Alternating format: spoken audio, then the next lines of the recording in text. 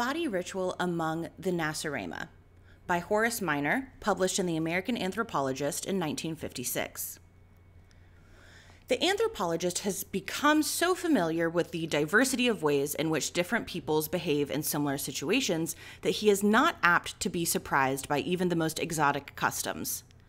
In fact, if all of the logically possible combinations of behavior have not been found somewhere in the world, he's apt to suspect that they must be present in some yet undescribed tribe. This point has, in fact, been expressed with respect to clan organization by Murdock. In this light, the magical beliefs and practices of the Nacirema present such unusual aspects that it seems desirable to describe them as an example of the extremes to which human behavior can go. Professor Linton first brought the ritual of the Nacirema to the attention of anthropologists 20 years ago, but the culture of this people is still very poorly understood. They are a North American group living in the territory between the Canadian Cree, the Yaqui and Tarahumara of Mexico, and the Carib and Arawak of the Antilles. Little is known of their origin, although tradition states that they came from the east. According to Nacirema mythology, their nation was originated by a culture hero, Notgnihsaw, who is otherwise known for two great feats of strength throwing a piece of wampum across the river Potomac and the chopping down of a cherry tree in which the spirit of truth resided. Nacirema culture is characterized by a highly developed market economy which has evolved in a rich natural habitat. While much of the people's time is devoted to economic pursuits, a large part of the fruits of these labors and a considerable, considerable portion of the day are spent in ritual activity. The focus of this activity is the human body and the appearance and health of which loom as a dominant concern in the ethos of the people.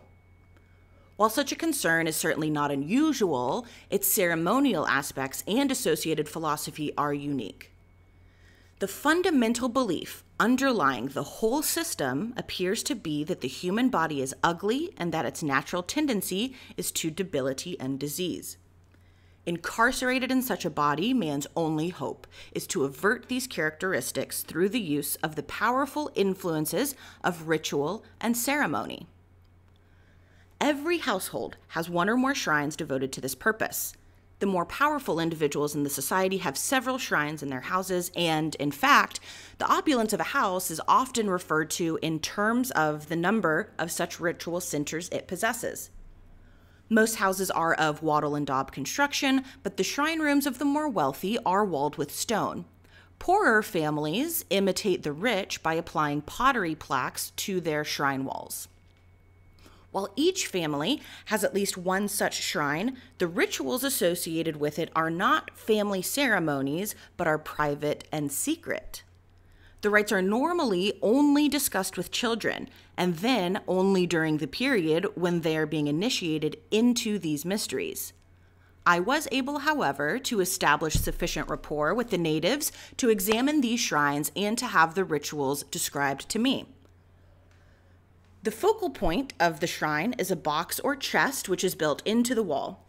In this chest are kept the many charms and magical potions without which no native believes he could live. These preparations are secured from a variety of specialized practitioners. The most powerful of these are the medicine men, whose assistants must be rewarded with substantial gifts. However, the medicine men do not provide the curative potions for their clients, but decide what the ingredients should be and then write them down in an ancient and secret language. This writing is understood only by the medicine men and by the herbalists who, for another gift, provide the required charm. The charm is not disposed of after it has served its purpose, but is placed in the charm box of the household shrine. As these magical materials are specific for certain ills, and the real or imagined maladies of the people are many, the charm box is usually full to overflowing. The magical packets are so numerous that people forget what their purposes were and fear to use them again. While the natives are very vague on this point, we can only assume that the idea in retaining all the old magical materials is that their presence in the charm box, before which the body rituals are conducted, will in some way protect the worshiper. Beneath the charm box is a small font. Each day, every member of the family in succession enters the shrine room, shrine room, bows his head before the charm box, mingles different sorts of holy water in the font, and proceeds with a brief rite of ablution. The holy waters are secured from the water temple of the community, where the priests conduct elaborate ceremonies to make the liquid ritually pure. In the hierarchy of magical practitioners, and below the medicine men in prestige are specialists whose designation is best translated to holy mouth men. The Nacirema have an almost pathological horror of and fascination with the mouth, the condition of which is believed to have a supernatural influence on all social relationships. Were it not for the rituals of the mouth, they believe that their teeth would fall out, their gums bleed, their jaws shrink, their friends desert them, and their lovers reject them. They also believe that a strong relationship exists between the oral and moral characteristics. For example, there is a ritual ablution of the mouth for children which is supposed to improve their moral fiber. The daily body ritual performed by everyone includes a mouth rite. Despite the fact that these people are so punctilious about care of the mouth, this rite involves a practice which strikes the uninitiated stranger as revolting. It was reported to me that the ritual consists of inserting a small bundle of hog hairs into the mouth, along with certain magical powders, and then moving the bundle in a highly formalized series of gestures. In addition to the private mouth rite, the people seek out a holy mouth man once or twice a year. These practitioners have an impressive set of paraphernalia consisting of a variety of augers, awls, and prods. The use of these objects in the exorcism of the evils of the mouth involves almost unbearable ritual torture of the client. The holy mouth man opens the client's mouth and, using the above mentioned tools, enlarges any holes which decay may have created in the teeth. Magical materials are put into these holes. If there are no naturally occurring holes in the teeth, large sections of one or more teeth are gouged out so that the supernatural substance can be applied. In the client's view, the purpose of these ministrations is to arrest decay and to draw friends. The extremely sacred and traditional character of the rite is evident in the fact that the natives return to the Holy Mouthmen year after year, despite the fact that their teeth continue to decay.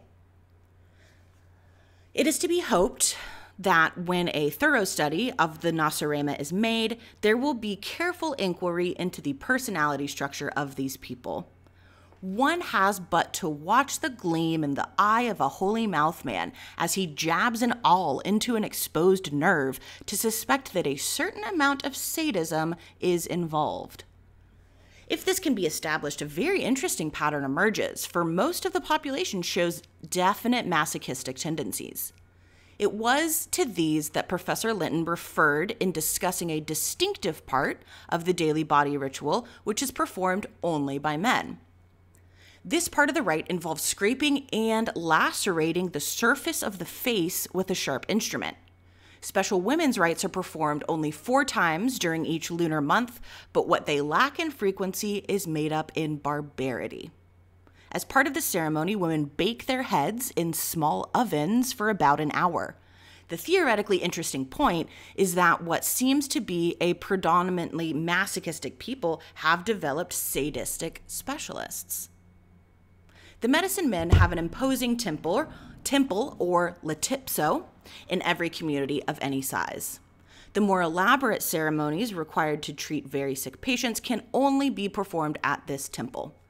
These ceremonies involved not only the thaumaturge, but a permanent group of Vestal maidens who move sedately about the temple chambers in distinctive costume and headdresses.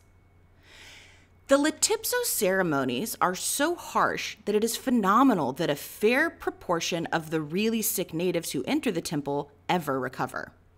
Small children whose indoctrination is still incomplete have been known to resist attempts to take them to the temple because, quote, that is where you go to die, end quote.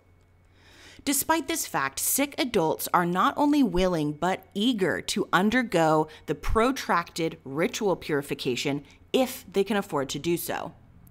No matter how ill the supplicant or how grave the emergency, the guardians of many temples will not admit a client if he cannot give a rich gift to the custodian. Even after one has gained admission and survived the ceremonies, the guardians will not permit the neophyte to leave until he makes still another gift. The supplicant entering the temple is first stripped of all of his or her clothes. In everyday life, the Nacirema avoids exposure of his body and its natural functions. Bathing and excretory acts are performed only in the secrecy of the household shrine, where they are ritualized as part of the body rites. Psychological shock results from the fact that body secrecy is suddenly lost upon entry into the Latipso a man whose own wife has never seen him in an excretory act suddenly finds himself naked and assisted by a vestal maiden while he performs his natural functions into a sacred vessel. This sort of ceremonial treatment is necessitated by the fact that the excreta are used by a diviner to ascertain the course and nature of the client's sickness. Female clients, on the other hand, find their naked bodies are subjected to the scrutiny, manipulation, and prodding of the medicine men. Few supplicants in the temple are well enough to do anything but lie on their hard beds. The daily ceremonies, like the rites of the holy mouthmen, involve discomfort and torture. With ritual pre- precision, the Vestals awaken their miserable charges each dawn and roll them about on their beds of pain while performing absolutions in the formal movements of which the maidens are highly trained. At other times, they insert magic wands into the supplicant's mouth or force him to eat substances, substances which are supposed to be healing. From time to time, the medicine men come to their clients and jab magically treated needles into their flesh.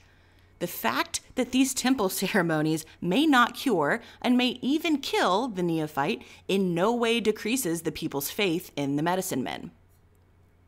There remains one other kind of practitioner known as a listener. This witch doctor has the power to exorcise the devils that lodge in the heads of people who have been bewitched. The Nacirema believe that parents bewitch their own children Mothers are particularly suspected of putting a curse on children while teaching them the secret body rituals. The counter magic of the witch doctor is unusual in its lack of ritual. The patient simply tells the listener all his troubles and fears, beginning with the earliest difficulties he can remember. The memory displayed by the Nacirema in these exorcism sessions is truly remarkable. It is not uncommon for the patient to bemoan the rejection he felt upon being weaned as a babe, and a few individuals even see their troubles going back to the traumatic effects of their own birth. In conclusion, mention must be made of certain practices which have their base in native aesthetics, but which depend upon the pervasive aversion to the natural body and its functions. There are ritual fasts to make fat people thin and ceremonial feasts to make thin people fat. Still, other rites are used to make women's breasts larger if they are small and smaller if they are large. General dissatisfaction with breast shape is symbolized in the fact that the ideal form is virtually outside the range of human variation. A few women afflicted with almost inhuman hypermammary development are so idolized that they make a handsome living by simply going from village to village and permitting the natives to stare at them for a fee. Reference has already been made to the fact that excretory functions are ritualized, routinized, and relegated to secrecy. Natural reproductive functions are similarly distorted Intercourse is taboo as a topic and scheduled as an act. Efforts are made to avoid pregnancy by the use of magical materials or by limiting intercourse to certain phases of the moon. Conception is actually very infrequent. When women when pregnant, women dress so as to hide their condition. Parturiation takes place in secret without friends or relatives to assist, and the majority of women do not nurse their infants. Our review of the natural life of the Nacirema has certainly shown them to be a magic ridden people. It is hard to understand how they have managed to exist so long under the burdens which they have imposed upon themselves. But even such exotic customs as these take on real meaning when they are viewed with the insight provided by Malinowski when he wrote, quote, Looking from far and above, from our high places of safety in the developed civilization, it is easy to see all the crudity and irrelevance of magic but without its power and guidance, early man could not have mastered his practical difficulties as he has done, nor could man have advanced to the higher stages of civilization.